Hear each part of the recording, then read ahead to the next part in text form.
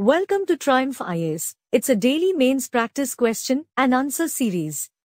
This program is exclusively designed for UPSC CSE aspirants. In this video discussion, we will discuss UPSC CSE mains previous 25-year questions. Question number 1. Critically discuss the objectives of Bhudan and Gramdan movements initiated by Acharya Vinoba Bhave and their success. Let's start with the introduction of the answer.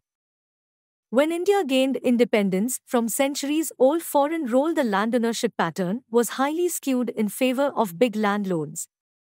There were millions of landless agricultural laborers in the country who had no other source of livelihood. The main body of the answer should be Number 1. The Bhudan movement was started by Acharya Vinoba Bhave immediately after independence so that big land owners and zamindars could voluntarily donate their excess land to landless and marginal farmers. The objective of Bhudan was to reduce inequality in land ownership and to make Indian society more equitable. Number 2. Gramdan was an initiative where the entire village was to be persuaded to meet together and pool their land resources. It was a kind of community farming where each would then get his share in the produce as per his needs and capacity. While Bhudan was meant for areas where there was highland inequality in land ownership, Gramdan was meant for areas with low inequality. Number 3. Bhudan could succeed in getting vast amount of land redistributed, but when compared to overall cultivable area the success was not very enthusiastic. Corruption was evident in the big landlords and they transferred most of the land to their relatives or to get some kind of favor in return. Number 4.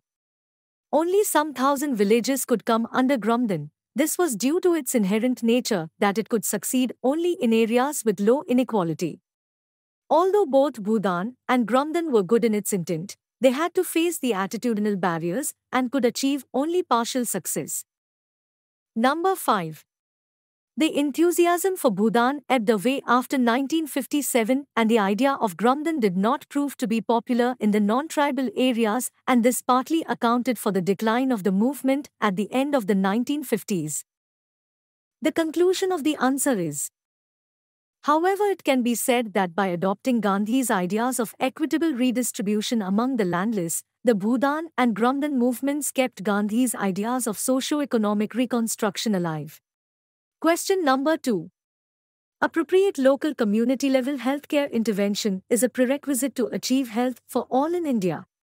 Explain from the resolution of contentious issues regarding distribution of legislative powers by the courts, principle of federal supremacy and harmonious construction have emerged.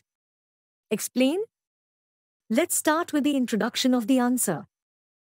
A critical component of the United Nations 2030 Agenda for Sustainable Development Goals is health for all. However, despite a decade-long work under the National Rural Health Mission, a vast majority of Indians remains out of the Health Care for All umbrella. Moving on to the main body of the answer. Number 1. Health in India is a state subject.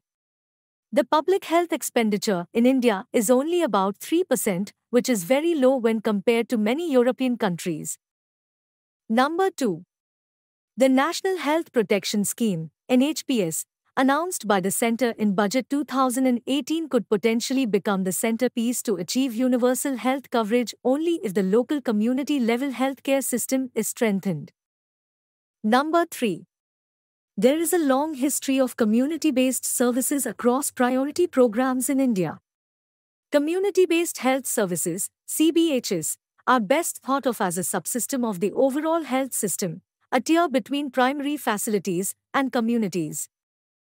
Number 4.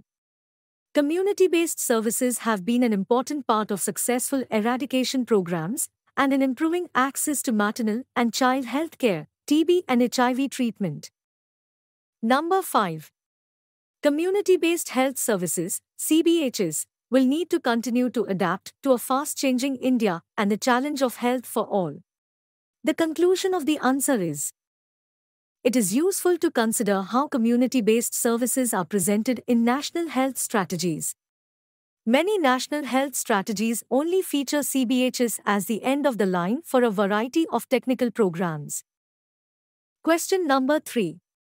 What are the reformative steps taken by the government to make food grain distribution system more effective?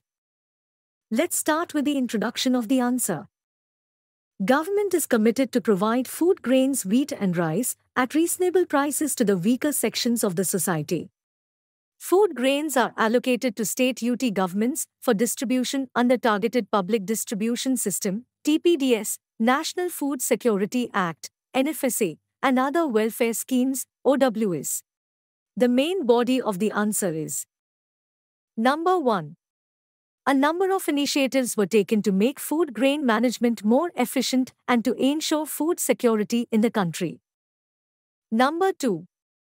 Aadhaar seeding in PDS to weed out duplicate ineligible bogus ration cards and to enable rightful targeting 83.41% i.e. about 19.41 crore ration cards as on 29 May 2018 have been Aadhaar seeded. Under Section 7 of the Aadhaar Act 2016, the department has notified the use of Aadhaar to receive subsidized food grains or cash transfer on 8 February 2017. Number 3. Automation of fair price shops. On the basis of pilots and learnings from the state's UTs, in November 2014 Department of Food and Public Distribution prescribed the guidelines and specifications for use of POS at FPS. At present 3,16,600 FPSs, as on 29 May 2018, out of 5,27,930 have POS. Digital cashless less cash payments in PDS. To promote the use of less cash digital payment mechanisms, the department has issued detailed guidelines for use of APS, UPI, USSD, debit RuPay cards, and e-wallets on 7 December 2016. Number 4. At present in 10 states UTs a total of 51,479 FPSs are enabled for digital payments. Apart from the above, 100% digitization of ration card data has been done. All states have transparency portal. 30 states have online allocation of food grains and 21 states UTs have computerized supply chain management system.